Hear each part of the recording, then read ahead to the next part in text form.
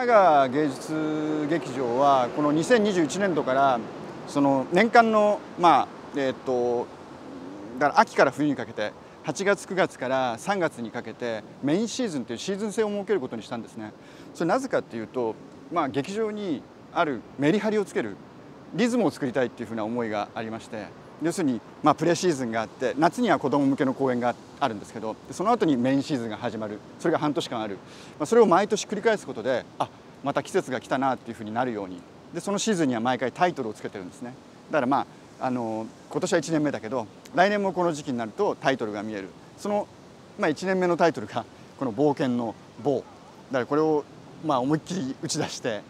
いるんですね。今年はその、まあ、状況コロナという状況もあったんであのそこまで実現しなかったんですけど、まあ、4月、まあ、正確に5月に上演した作品は、まあ、このこれからご案内するところで上演したんですけど、まあ、そこでやってる公演の外に、まあ、ここにあのフードカーが並んだりそれから将棋とか、えっとまあ、座れるところがあって、まあ、買い食いをしてとご飯食べたりまあ、通り眺めたりとか道行く人眺めたりとかそれから上りをこの看板沿いのところにこう立てて、まあ、作品は王将っていう作品だったんですけどそれをなんか中でやってるぞっていうのが外に伝わるで今ここからは入れませんけどまああのこの中で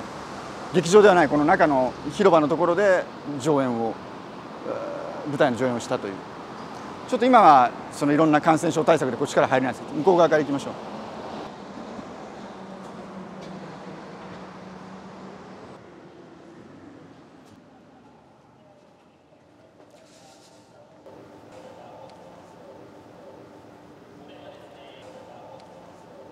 ここがアトリウムですね。ガラスで囲まれた空間になってます。こっちがご覧のように NHK さん横浜放送会館になっていてまあカート神奈川芸術劇場と、まあ、共有の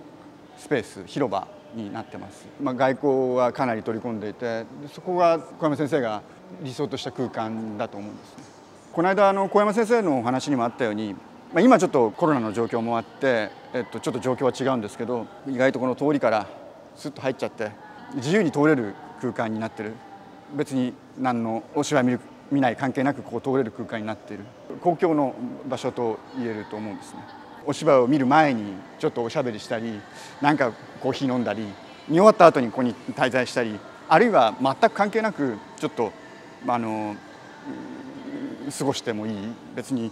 うんと友達と待ち合わせたりおしゃべりしたりなんかそういうことができる場所にならないのかっていうことで、えー、と劇場の、あの企画調整課の方とか、えー、と事業部長さんとか、まあ、そういう方たちとちょっと話をして、えここちょっと変えていこうと。それでもこの空間はうんと日中外から見るとガラスでちょっと認識しづらかったりとか、まあ、ここにあるっていうここは劇場だとかここは公共のスペースだっていうことが認識できれば全然入ってこられると思うんですけどそのことを知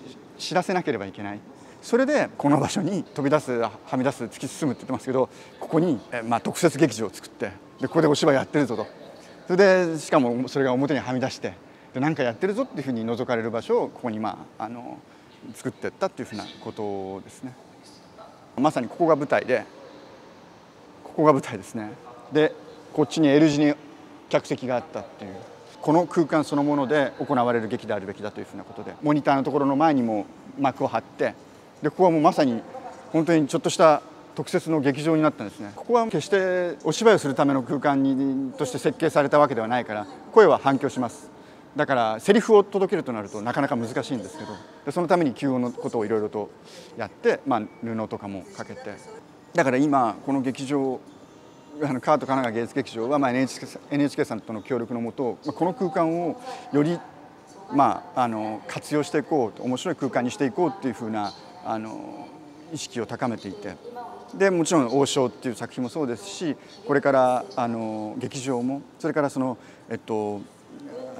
劇場を運営する財団もこうあのより活性化していこうというふうなプログラムを組み始めてる。お芝居がホールであってそのホールに関連するダンス企画をここで上演したこともあったんです。それはお芝居を見たお客さんたちが降りてくると何か始まってる。その時にはああいう上のところで覗く人この辺ちょっと置かれた椅子に座る人まあ、いろんなところにからお客さんが眺める状態になる。それってこの空間じゃなきゃなかなか成立できないものなんでそれはやっぱ面白かったし王将やってる時もその上にのあのこうふんどしみたいなのが通してたいたんだけどああいうところからは覗けるんですね。そう外から覗けちゃうっていうことも結構大事なだからここをちょっと開いていくことで、まあ、劇場の印象をあの、まあ、また変えまた一つ変えていこう。お芝居は見たことないけどここには来るっていう方たちが増えていけばいいなっていうふうに思ってます。みんなここに立ってさあここでこれどうしようかっていうことを 次はこここの場所どうしようかってことをここでみんなこうやって考えるんですね。何か面白いことできないかと思って。この映像の企画もここであのしたことがあってこういうところにも全て映像をあのもう各所に映像を打ちまして。で、えっと、そこのこの館内を見てるとさまざまなところに映像があの投射されてるっていうような。で皆さんこう歩き回ってここに行くとこの映像がすごく見えるとか。あそこに映像が見えるとかさまざまなところに当てる、まあ、そういうことがやっぱりこの空間はできるんですね。だからそのその映像展、まあ、カートの歴史をあの映してるそのあの10周年なんで10周年の企画だったんですけどそれを見に、まあ、あの映像作家さんの作品としてもそれを見にいらっしゃるお客様がいらっしゃったりとか、まあ、そういうそういうことがあるととってもいいんですよね。もちろん劇場に来てくださる方たちがあ劇だけじゃない空間なんだっていうふうに楽しんでいただける場所になれば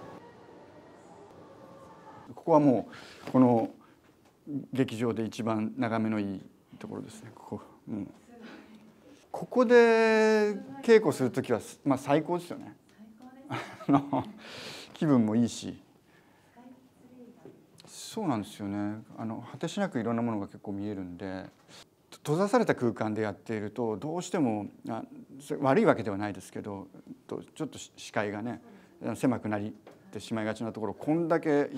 あの開けてると、まあ、こんなもんじゃないんですけどあのあっちに行くと えっとそこはまああのいろいろクリエーションするにはすごくいい場所人気のあの前室でもあります。はい、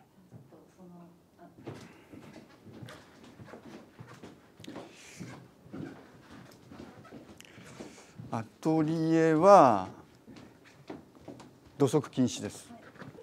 えー、っとここがアトリエです。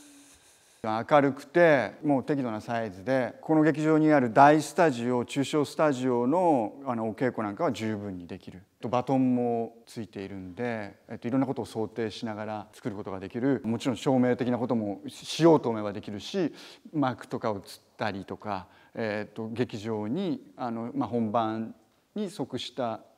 まあ準備ができるというふうなこと。こっちは、まあ、あの今もカーテンになってるけどあの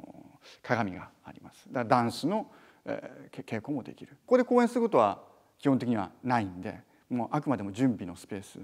えっと、準備したり、うんと、そのなんか新しいアイデアを開発したりとかそういうような場所。この10年さまざまなこうクリエーションが行われてきたのはこのすごくシンプルだけどこの空間。ここが稽古で使えるって聞くとよしっていうふうにあの 嬉しくなるのは多分ここ使った人たちはみんなそう思うと思います。これはねこっちがもうこういうふうに庭になってるんであこれであのコロナ禍で換気を良くするためにも基本開けてやろうそれであの虫が入ってくるので網戸を劇場の技術スタッフが作ってくれた。みんな、まあ、お昼の時にはここにちょっと出てあの少し休憩したりとか。これだけやっぱりあの開けた場所で稽古してると、まあ、あのすごくリフレッシュしやすいしまあこの稽古はかなりだからちょっと特殊ですね。うん。すごい非常に人間的な感覚でいられるっていうのはどうしてもやっぱり稽古場って窓がなかったりするような空間も多いですからそれに比べるともう、まあ、比べようもないって感じですけどまあここは最高です。こういうところでもクリエーションが行われてるんだってことはまあ発信していけたらなというふうに思ってるんですフラッと来てお芝居見る前にこの劇場バックステージツアーやってるらしいからちょっと行ってみよう。バックステージツアー見たら絶対面白いですから。これも間違いないんです。カートのバックステージツアーはまあっていうかまああらゆる劇場もそうだと思いますけどバックステージツアーって本当に面白いんです。でもいずれそういうふうにあのオープンになっていけるようにしていきたいなと思いますしこういう場所で稽古あのしてるってことはあのカートからも発信していきたいなというふうに改めて思ってます。これはいいですよ。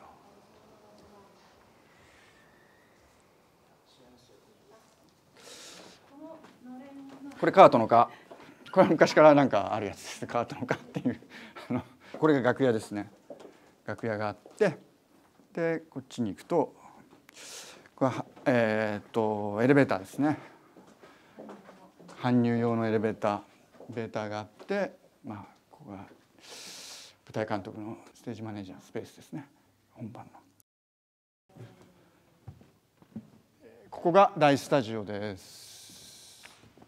もちろん多少変えられますが大体普通に行くんで220席ぐらいの空間。ブラックボックスになってるんで、えーと、いろんな使い方ができる。あそこの客席はロールバック式で下がる。今はいろいろな対策ゆえに、えーと、パイプ椅子が置かれてる。でここも掘り込まれてここも客席に落ちます。この部分。傾斜の客席。今は本当に違うんですけどで普段はオレンジ色のあの鮮やかなオレンジ色の客席になってます。とにかくここはすごくあの自由にいろんなクリエーションができます。で、えっと、作品によってはこれこっち側だけが客席じゃなくこっち半分をあの、えっと、舞台にしてやった上演作品もありますしもちろん対面もできますしもう結構さまざまなあのクリエーションがここの空間にはできるようになっています。ここは実は僕は2011年この館が開館したその時、えっと、一番最初にこのこのスタジオを使用させてもらったのは僕なんですね。V っていう作品を上演させてもらってその当時はまあ宮本亞門芸術監督だったんですけれどもの時代だったんですけど、まあ、砂敷きたいって言ったら、まあ、技術家含めみんなやれよみたいな感じでこれ全部全部白砂で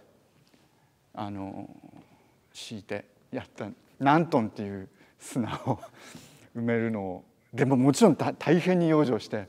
それはもう最初に初めてあのこの劇場を使うのに砂が残してはいけないぞっつってでもまあそこ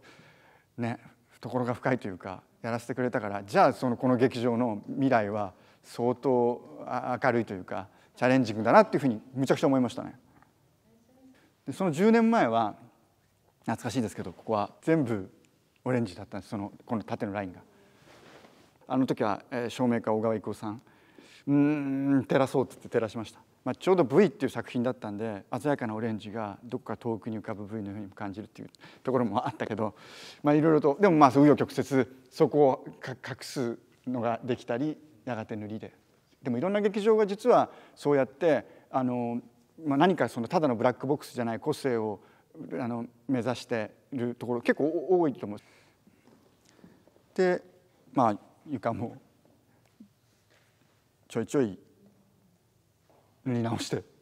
この間塗り直すところに出くわして非常に感動しましたけど塗り直しての僕はとてもでもあの場が見れたのは嬉しかったですね。背景の大御所がこれ塗ってくださって ものすごい感動しました。楽屋です。これが今中小スタジオと言われるところに買ってます。これ形ほらなんかね、これがまた搬入のエレベーター。ここが中小スタジオです。広いです。中小スタジオはここで上演もできます。であのあのホール公演の、えーと、リハーサルもできるしもちろん大スタジオのリハーサルももちろんできますけど僕が就任する前今年で6年目か。だから、えーと、前芸術監督の時にも始めていたエキシビションというのがあって現現代アートの方たちがここをあの展示の場所として使ったりもしていますしもちろん劇場としても使えるしなおかつ僕は実はあんまり見たことはないんですけどここの間仕切りをすることによって2つの空間を作り出すことができる。だから小スタジオと中スタジオに、えーと、分けることができる、まあ、これも小山先生のお考えかもしれませんがやっぱりあのこういった外交が入るっていうふうな空間になってるんで、えーと多くの場合あの僕なんかは、えー、なるべくこう開けるようにして、えーと、いる。やっぱ外の方見えるとあの違う人によるかもしれないですけど僕はそうでもちろんあの大切な時になったら、まあ、あの明かりが入んなく入んない方がいい時には閉めちゃいますけど実はここにあの窓があるんですね。あのこれ今ちょっと布で閉じられてますけどこう窓があってで窓は先のアトリウム空間とつながってます。だつまり音は聞こえないけど窓からこのリハーサルルームって覗けるようになってるんです。窓から覗くとなんか分かんないけどやってるんですね。で、えっと、やってると出演されてる方とかが音聞こえないからあのこうやってなんか紙で「これから始まります」とかあの今5分後にやりますとかなんかそういうのが出てきてでそのリハーサルをちょっと覗けるこの劇場がやっぱり創作する劇場である創造型の劇場であるってことはきちんとその公共劇場としてあの多くの皆様にあの知っていただかなきゃいけない。それのためには例えばそのさっきのあの外交の入るアトリエでのクリエーションだったり大スタジオでのクリエーションだったりここでのクリエーションだったり中でこうやって常に常にあの作られてる。でそれはこれはあのこの劇場に僕が芸術監督で就任する時によく話してたことなんですけどまああのやっぱり常にこうただ上演作品が上演されてるっていうことだけではなくて中で作られている作ることもまた一つその大きなあの活動である。でそれがだから上演はなくても、まあ、マグマのように皆熱く中で作品をあの生み出そうとしているっていうふうなことがでそのことをまあお客様にもというかこの館を利用あのご来場いただく方通りすがる方たちにもあの知っていただければいいなっていうふうに思っている。っていう感じですねだからこの窓は結構重要窓だとあの思っております。で、えっと、今そのお話しした窓がこれです5枚ありますね。今今もちろんちょっと見られないんですけどさっきの布がかかってたりとかこうシェードが降りてるんですけどここから覗けるこの間その谷野さんの「二陣町」っていう作品の時にはここにちょっと資料を置いて今どんなことをやってるのかっていうことがちょっと分かるようなあのものとそれからあの、まあ、声聞こえないから向こう側で、まあ、ちょっとこういうあの今こんなことやってるよっていうのを見せてくれたりとかそれから、えー、そうそうそこで見に来てくれた方たちがちょっとこうメッセージを受けるようになったりとかもしててそんな中とうちとの交流が、まあ、コロナの中でも手書きのメッセージを掲示し合うことでなんかやりやり取りをするみたいなことが、まあ、あったりとか。でこれ下ここから見るとあの王将やってたらまあそこに王将が上演されてるっていうふうな形になってくるんで数多くの公共劇場を設計してこられた小山さんのまあその基本の理念みたいなものに近いのかもしれないですね。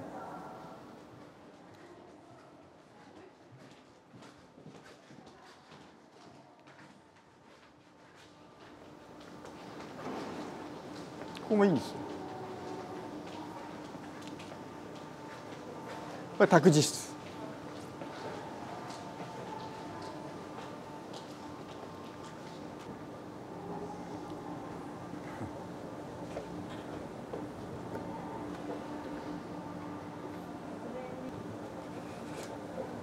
ここはエスカレーター上がってくると右が大スタジオさっきのブラックボックスので左側がメインのホールになります。両方やってるとお客様はここで合流するような形にはなってるわけですね。ここはもうすごい明るいです。あの、まあ、見えるというよりかは外光がしっかりと取り入れるようになってる。さっきの、えっと、アトリエのあの庭園に出てちょっと覗くとここここが覗けるようになってる。あとはそこの今ちょっとだけあのガラスで少し見えるとこありますよね。あそこカウンターになっててカフェバーみたいなのがあそこにある。だからこのホールのお客様が、えっと、コーヒー飲んだりとかできる場所があそこになってる。実は僕はそこも好きなポイントであそこからこっちが抜けて見えるのが実に本当はすごい気持ちいいんです。じゃあえっと入ってみますか。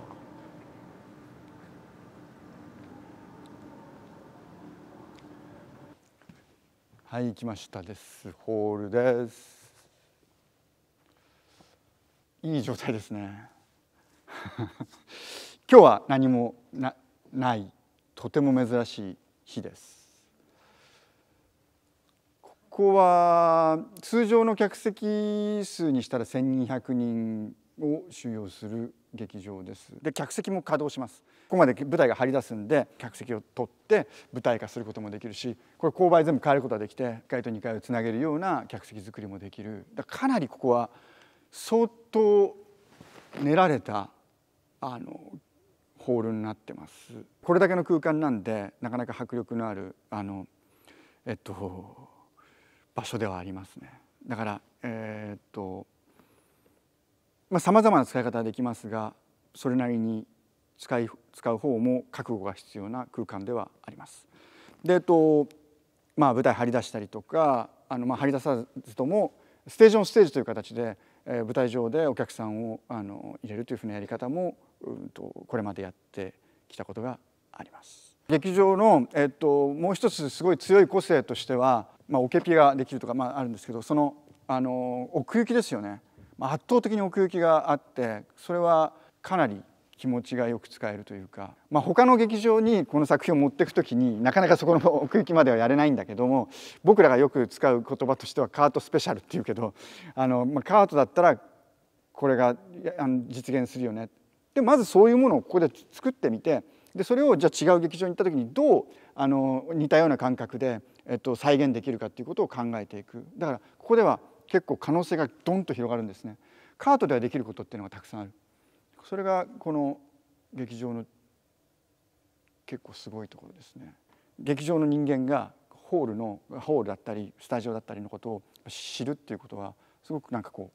う大きくあると思います。まあ、それがまあ僕の、えっと、芸術監督としてのあのいろんな事業を進めていくパートナーですよね、まあ、僕あのお互いに。それはこの劇場のある種の特徴でもあるんじゃないかなというふうに思いますけどね。やっぱ劇場使わなくなるとどんどんどんどん劣化していくしあの、まあ、ききしむっていう感じがするんですけど確かにカートはずっとずっと稼働させてる。カートの主催の公演だけでなくやっぱりあの貸し館としても使っていただくことで劇場のまた新たな一面をそこであの活用していただけるっていうふうな点も実は大きくて。であのそれは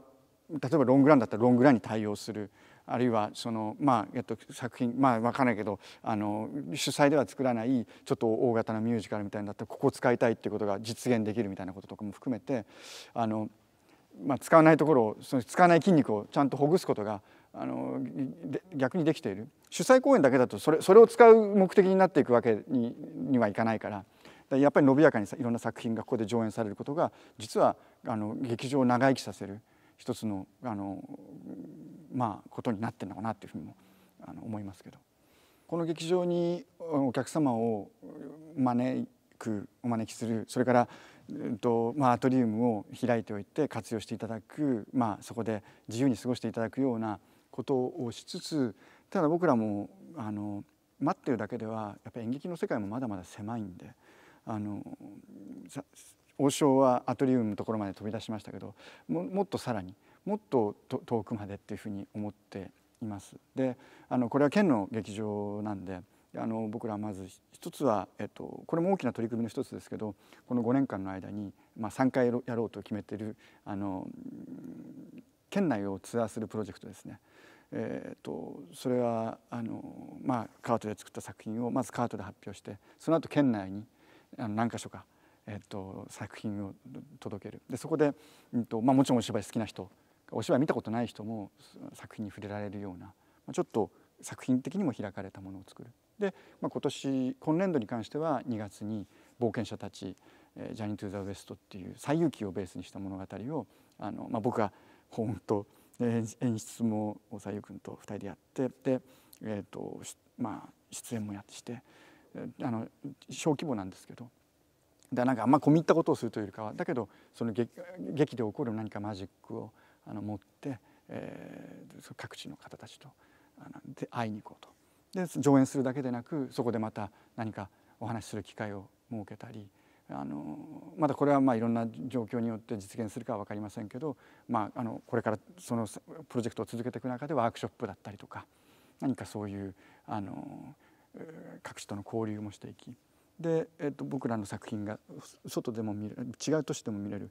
でそれがやっぱり面白かったらじゃあまたここにも顔あの見てみようかなっていうふうにつながっていく。で一回行くだけじゃなくてそれをまああのな何とか、えっと、繰り返してあの町にもう一度あの町にもう一度というふうにして、まあ、関係を深めていくことによって、まあ、カードは随分あの神奈川県のあの東側にあるんですけどで、まあ、西へ西へ、まあ、ジャニーズ・ウエストもそうそういうあれですけどあのつながって、えっとまあ、こういうこういうこういうまあ豊かな場所があることがあの他の劇場ともつながることで何かこうその交流が生まれることでここにある発想が他に伝播したりそれから僕らがまた全然知らない発想が僕らのところにまた入ってきたり何かそういうあの、相互にあのこう交流するようなインタラクティブな関係みたいなのができていくと面白いよねっていうのはあるしそうやって、えー、僕ら自身もこの中にちょっとじゃなくて時により遠くにみたいなそういうふうなあの思いで、えー、いこうかなというふうに思っております。今僕があの主催している劇団の阿佐ヶ谷スパイダースで、えー、新作の「老いと建築」という作品が、まあ、今度、えー、11月の7日から15日まで吉祥寺シアターで上演されるんですけどこれのきっかけが寺田倉庫さんから頂いた「歌う建築」という企画で僕が農作文則さんの西大井の穴という建築とか、まあ、あれは、えっと、リノベーション住宅というかあのご自宅をあの購入された建物を改築していくみたいなところに伺ってでそこで受けたインスピレーションを、まあ、劇作家の僕が入ってセリフを紡ぐというようなことをさせていただいてでそこでまあやっぱり独特な能作さんの終わらないあの建築。完成はしないっていうような暮らしていく中でその変質していくものだっていうふうな考え方。まあそれがそこから僕は刺激を受けてでまあ、全然、まあ、農作さんの考え方はまた全然違うんですけれどもその、とまあ、住んでいく人たちの暮らしが変わっていき住んでいく人たちの人間関係が変わっていく。そうすると家っていうのはあの当然あのそれこそリフォームされたりとか何か年を置いていくことによって変えていかなきゃいけない場所が出てきたりする。で同時にやっぱりそこの中にある人間関係がどんどんどんどん変質していくわけですね。でそれは全てがよくいくとは限らない。人間みんな年を取ってって別れていくものですから。そうなってきた時に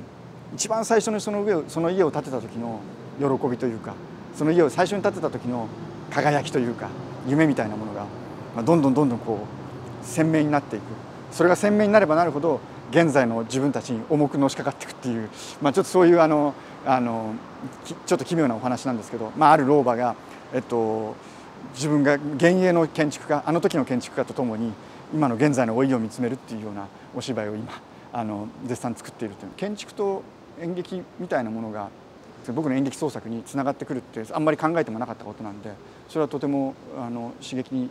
なったのとあとやっぱりまあ、農作さんとのこと僕ら暮らしとか劇場もそうですけど僕らがこう生活していく上でその建築っていうのはかなり大きな要素を占めてるっていうことが、まあ、改めて知らされる。でここには全ての動線があって人間が動く全ての動線があってそれがぎゅっと凝縮されると、まあ、劇場というか舞台になったりもする。だかそういうなんか考え方の刺激も随分受けまして空間だけじゃなくて時間も視野に入れるそのことがなんか今僕にとってはかなりあの刺激になってます。その老いと建築は別に建築の専門の話をするわけじゃないんであのその辺はそれ見に行くとなんか建築のすごいものすごいあの用語がいっぱい出てくるとかそういう劇ではありませんけどでもまああのとてもあの強い刺激になりました。それどうもありがとうございます。